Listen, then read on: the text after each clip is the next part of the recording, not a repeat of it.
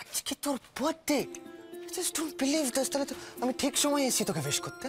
হুম জানিস তো রোহিত যে আমার খুব ভালো বন্ধু। আমার জীবনে বন্ধু এরকম বন্ধু পাইনি। মা আমি তো একাই খেয়ে যাচ্ছি তুই একটু খা। না না তোর জন্যই তো এনেছি। তুই খা না আমি আমি আমি আমার পেট ফুল আমি খেয়ে এসছি। তাহলে এবার এবার যাই। এই মা একটা কাজ তো ভুলেই গেলাম। তোকে বার্থডে উইশ করতে দে তোর হাতটা দে। বাঁচাবে যে কোনো হাত চলবে হাত দে। Yes happy birthday Akhi.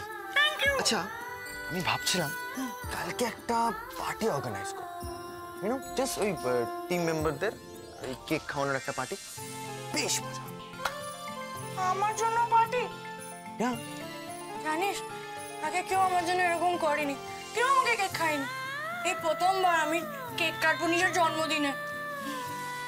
এতটুকু যদি না করি তাহলে আর কিসের বন্ধু হলাম?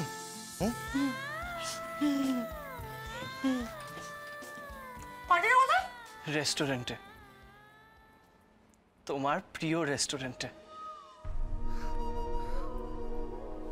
মনে পড়ছে? যেখানে আমরা প্রথমবার গেছিলাম বিয়ের পর?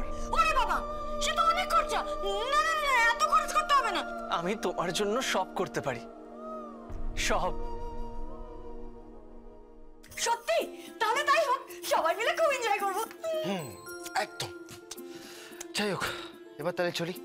হ্যাঁ আর একটা কথা। এই প্ল্যানটা যেন ম্যাডাম না জানতে পারে না না না না পাগল নাকি? থাম না। চল এবার বেরোই হ্যাঁ? আচ্ছা ঠিক আছে।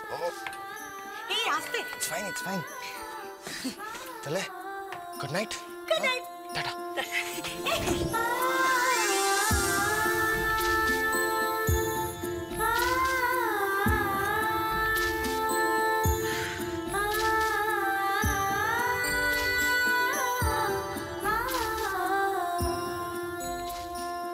না না না।